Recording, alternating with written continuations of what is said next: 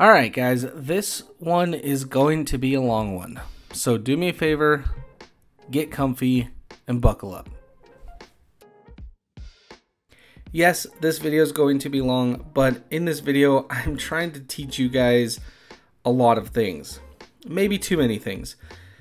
But if you will sit through the video, bear with me, you should learn something. About a year ago, one of my buddies sent me some bloodwood, and I had never seen this stuff. I was unsure what to do with it, but I knew when I got it, I wanted to make a bowl out of it. And I knew I was just going to make a bowl and send it right back to him. Now, would an all bloodwood bowl be super cool? Yes, of course but I wanted to do something to make the Bloodwood kind of stand out, and all I had in the shop was ash. So I'm going to be doing a blood and ash wood segmented bowl. Through the past few minutes, I've just been prepping the wood, getting it cut into the pieces that I want, um, and obviously now I'm prepping the wedgie sled. Here's one of those teachable moments I wanted to share with you guys. Everybody asks me for a specific measurement on my segments for a certain size ring. So here you go. This is from the blade, just under an inch, and it's about an inch from the opposite side of the blade. These measurements are going to give you about a six inch ring. And also a quick demo on how I use the sled. You start with one fence and make your cut, and then you bring it up to the next fence, make your cut, and then bring it back to the beginning fence. No need for flipping your piece of wood and, and getting all complicated with it. It's really a very simple jig. I do sell this jig in my Etsy store if you guys are interested in it, but I will tell you guys, like I tell everybody else, make it yourself. You can just make it yourself and you will learn a lot from just the making process. But if you are constricted on time or just simply don't want to make it, you can always head to my Etsy and purchase one from me handmade. And now that our first ring is done, I'm just gonna slap a rubber band on it and check for gaps and imperfections. One thing I wish I would have done was switched out my blade to a 60 count blade because as you can see, I got a ton of tear out from this wood. But the ring still looks good. The joints look nice and tight. So I can proceed in cutting all the rest of the segments for the rest of the bowls.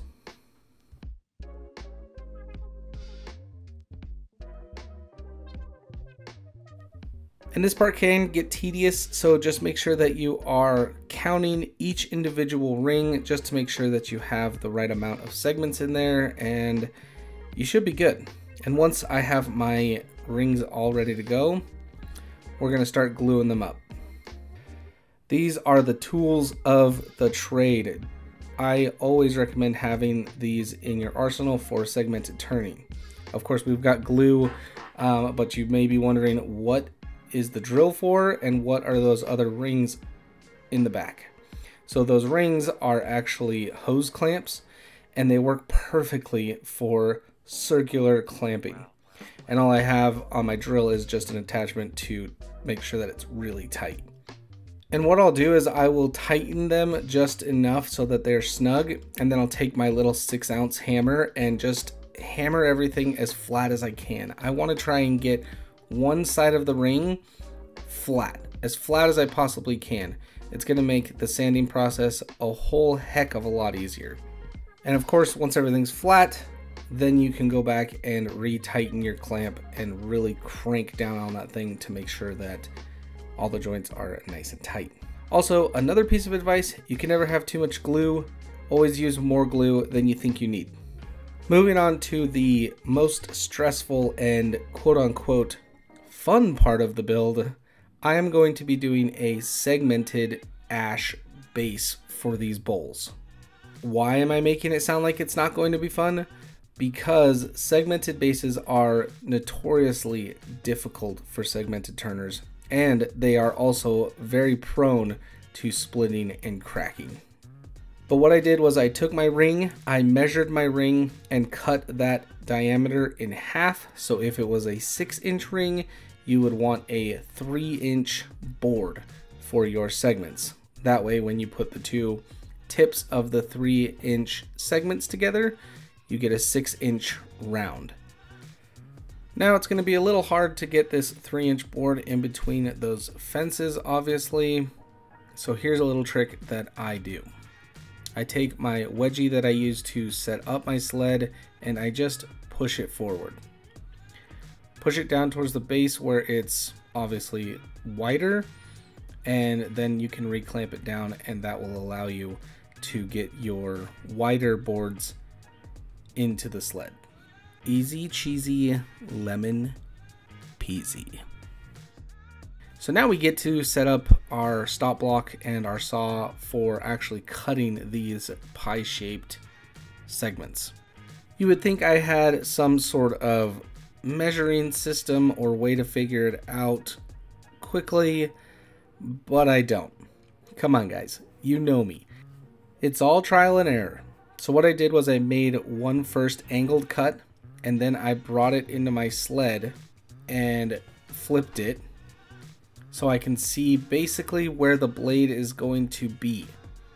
You want that blade to be cutting just, well, not like that. You could see I basically cut off the tip of that pie shape. And I can bring it up to my piece of wood to measure it, and you can see it comes up short. So now I can readjust. Um, I believe I need to scoop my piece of wood further past the blade, and that'll give me a better cut.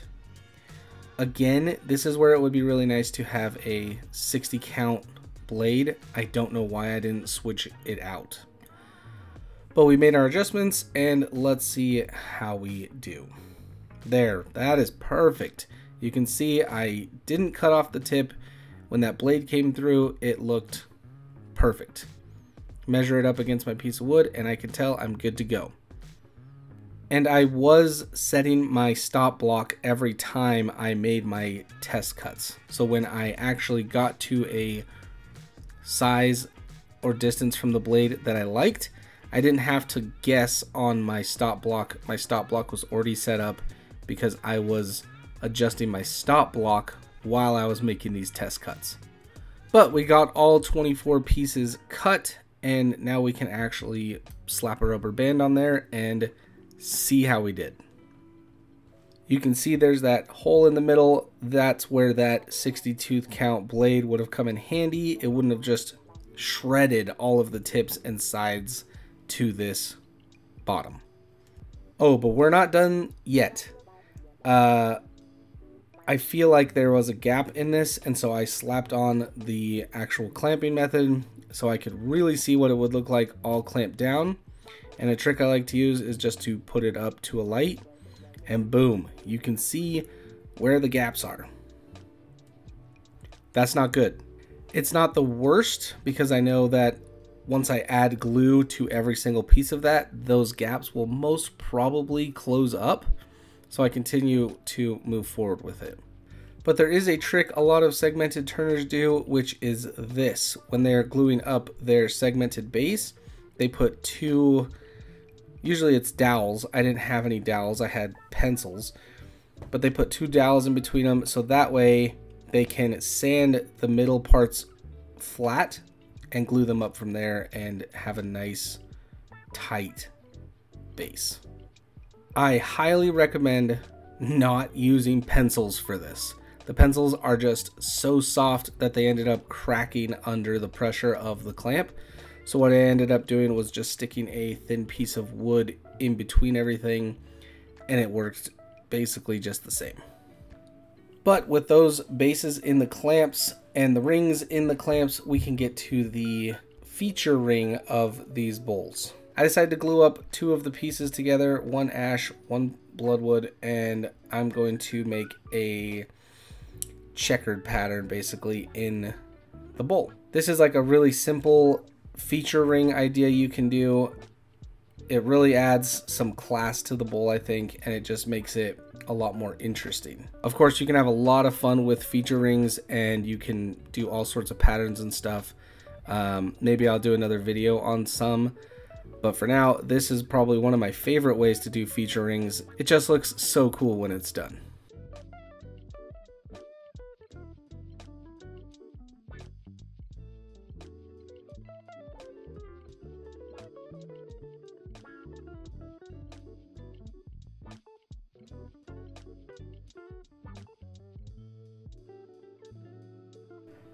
And now that that's done, we can start flattening our rings and assembling our bowl. This method I really enjoy. I'm using some double-sided stick tape from X-Fasten. This is the reason why I said to make your rings as flat as possible in the glue up. Because I took the time to make my rings flat, I don't have to sand one side in order to get them to stick to this board. Now, of course, there are a, lot of ways to sand and flatten your rings to get them ready for glue up, but this is my preferred method because I have it. And that is the drum sander. Setting these rings this way through the drum sander, it's quick, the dust collection's awesome, and I am assured that all of my rings will come out the same thickness.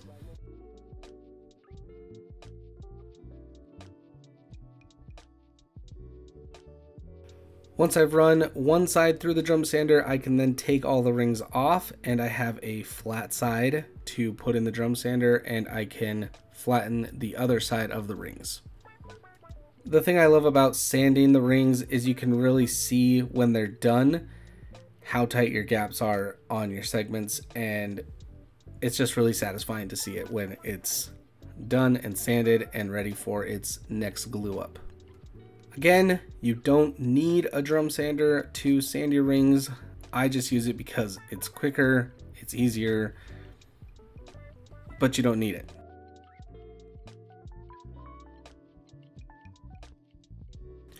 Okay, now we're getting there.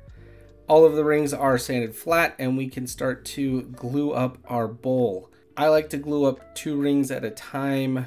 I feel like if you do more than that, things just start to get shifty and move around too much and it's just not as precise. So glue up how you will. I do two rings at a time. Once I have my alignment set, um, I kind of just let it sit for a little bit and I let the glue settle before I put any sort of clamping pressure on my rings. Once I feel like the glue is set decently, I'll come in with some of these, what are they called? Spring clamps. Right, spring clamps. I'll put four spring clamps on there or five or six. It doesn't really matter just to help hold everything into place. Then I can come back with some F-style clamps and really crank down on this thing to help me get a nice tight joint.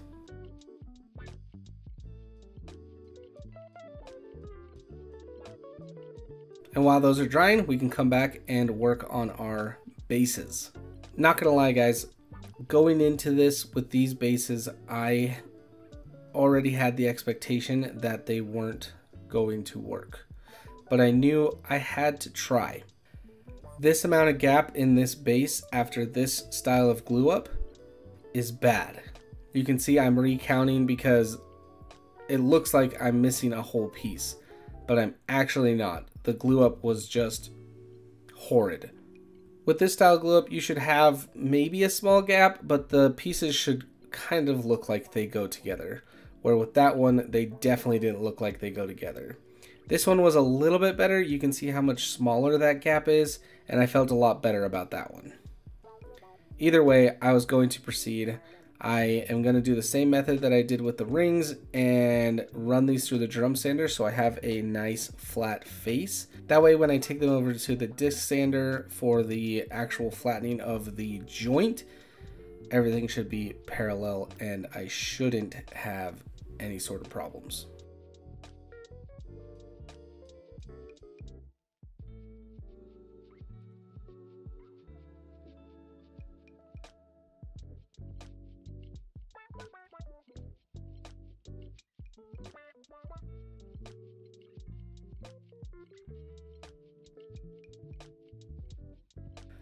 And that's pretty good. That's pretty good. I know that I did go back and actually fix that gap in the middle. I sanded it just a little bit more and it did come together really nicely. But you guys can see how this style of base is just it's a mess. It's it's not easy. It's not for the faint of heart. I really would love to come up with a better way to get it done. I just haven't yet. But with everything come together, I am still going to continue on with this base and try and make it work.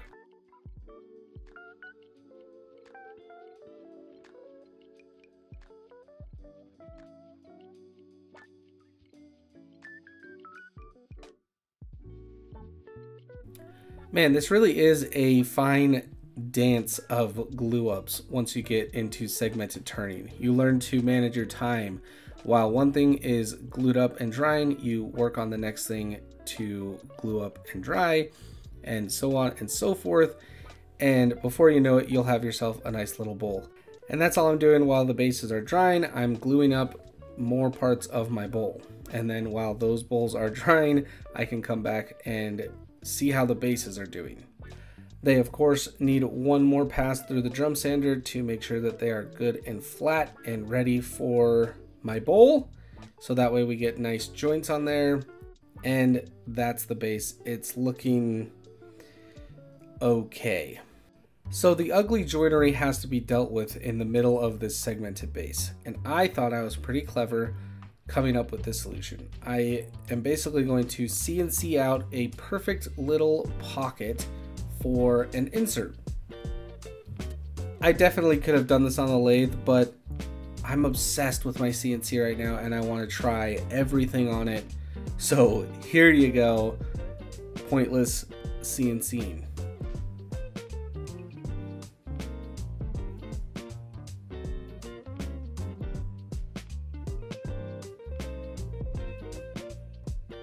And of course, while I was at it and while it was on the CNC, I just took a minute to make this blank perfectly round.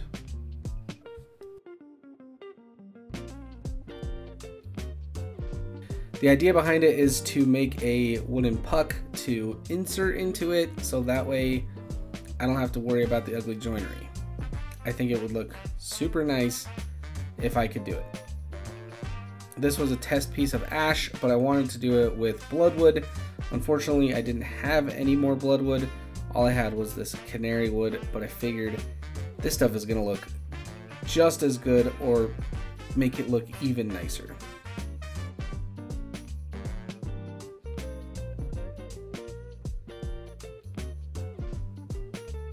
With a slight chamfer on the bottom of these pucks, they are ready for insertion. With a little bit of glue, we can just slide this thing in there and mwah, beautiful.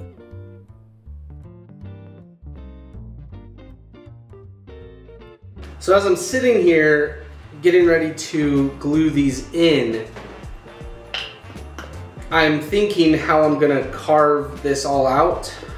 And basically with the bowl, I'm gonna be carving it round on the inside and I'm gonna be carving it deeper than this goes which would then make these pointless because I will carve them all away essentially. And for the outside I'm gonna have to carve a recess for my jaws to hold on to these which is going to be as deep as this is which again means that these will be pointless so I'm kind of thinking I will just glue this up how it is and start turning it and then glue these in. Because I don't want to turn these away. I want these to be present in the final piece, but I don't, I can't guarantee that I won't turn them away if they're not in here. So that's what I'm gonna do. I'm gonna glue these up and then we can start turning them, I guess. I hope that made sense to everybody. I um, I basically just jumped the gun on things, and this is kind of where things for this segmented base start to go wrong. But we're all glued up, and we are ready for turning.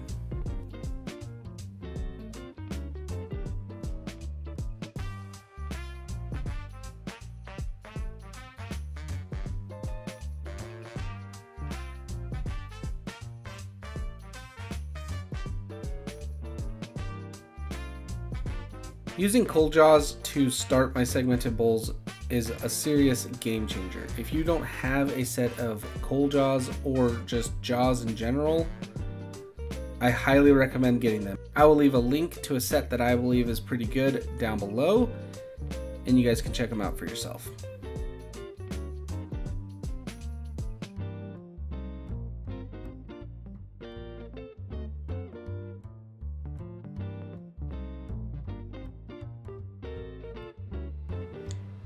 So we're going to be starting with the bowl that I already have the inserts in.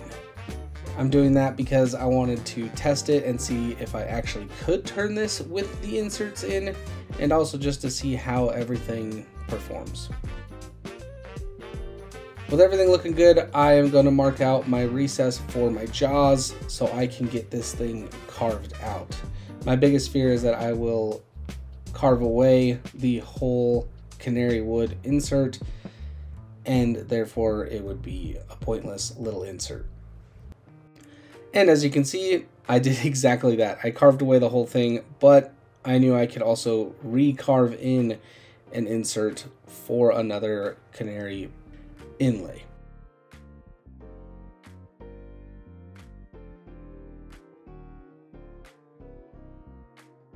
Like I said, I should have just done this from the beginning. I should have just left the blank how it was, mounted it, and carved in my own thing. But like I also said before, I'm obsessed with the CNC. I've got a little bit of a problem. I have no idea what's going on with this base. I don't know why I gave it that weird sort of swoop up to the insert, but I did, and I guess that's just how it's to be. Letting that thing dry, I can just start working on the outside of the bowl and sort of figuring out the shape of this thing.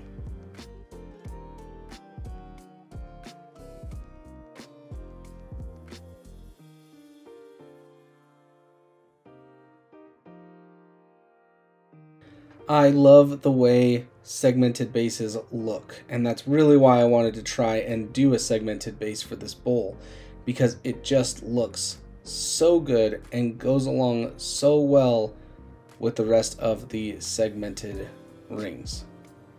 Now that I've got this base figured out, I'm to go back and carve out this insert and just get it nice and flat, making sure it just looks like it's part of the bowl.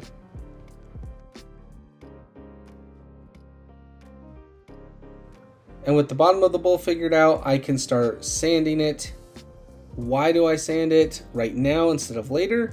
I sand it now because it's easier than sanding it later. If I don't sand it now, after I'm done turning the rest of the bowl, I then have to flip it, sand it again, and then flip it, and then sand it again, and it just is extra steps. You might as well just sand it now and get it over with. Before I flip the bowl and do all that, I am going to turn the other bowl just the same way that I did the last bowl. It's just easier this way with my cold jaws set up. I don't have to go from cold jaws to regular jaws, back to cold jaws, back to regular jaws. Turn all of your bowl bottoms first and then switch out your cold jaws for your regular jaws. Unless of course you have two sets of jaws, which is just the wood turner's dream.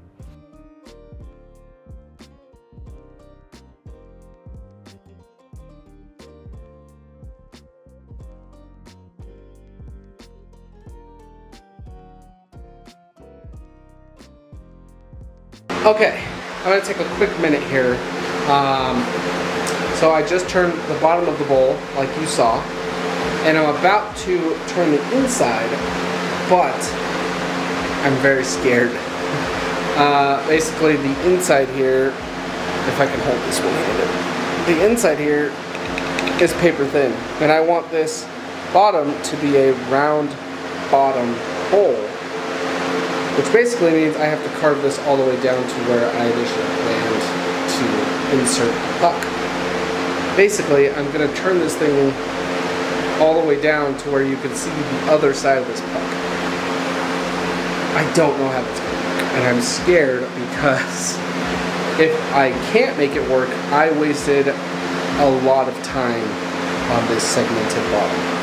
We're gonna try it. I'm gonna turn just the inside part and see if I can make it work. If I can't, we are going to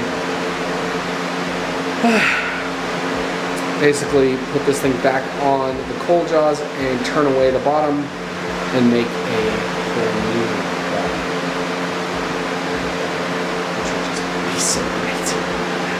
Ah, all right, let's go.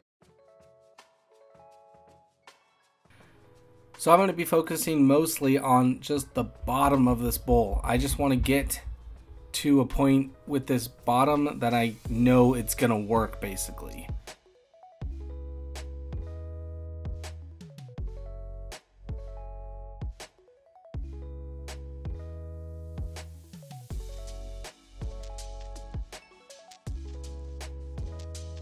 And now I'm at a good point where I can start figuring out what to do with this puck.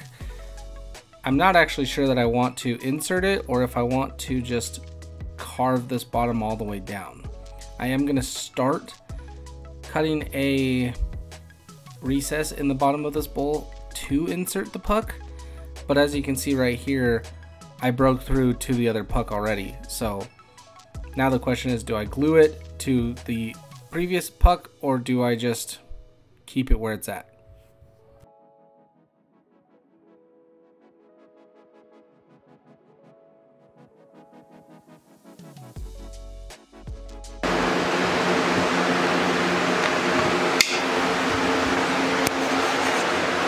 Okay, so I think what I'm gonna do is um, proceed, and I think I'm just gonna carve all the way down to that back piece and not insert the second piece that I had planned. I think that should work. I hope. I, I honestly don't know. But I think from what I can tell on this thing, what I can tell with this, it looks like it should work. So I'm just gonna continue carving the, the bowl and hope it works.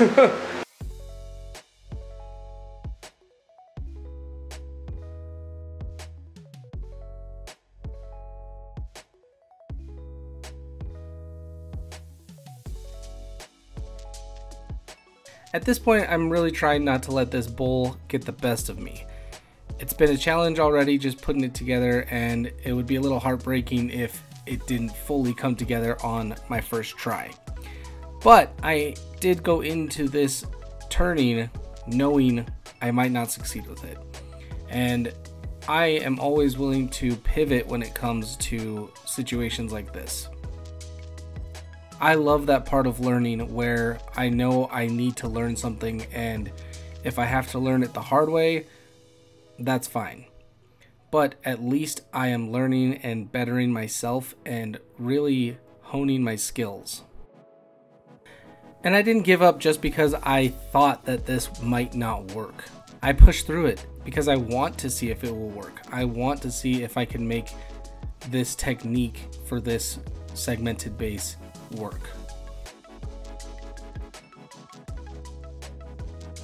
Alright, I think I'm gonna have to wait till tomorrow to finish this because the glue in here is still really wet.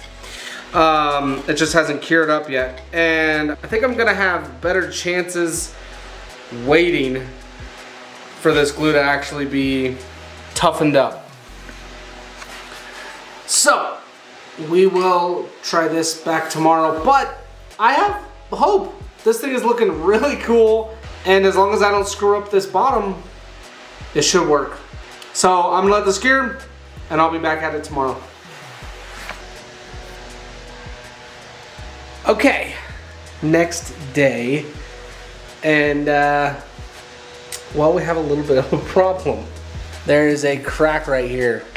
And I didn't realize this until after I turned off the camera, but this piece in here is super thin. So there's the crack and I can almost push my way through that base. So that's great. So we now have to flip this around, flip this guy around and um, turn off the bottom. and I'm just gonna do a solid ash bottom on these. And I'm also gonna turn off this bottom too so they match. Really not something I wanted to do, but what am I gonna do?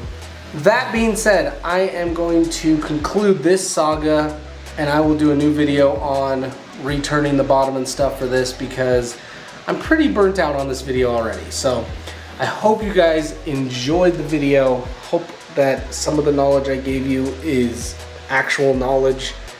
Be good, be safe, be happy, and I'll catch you guys in the next video. Peace.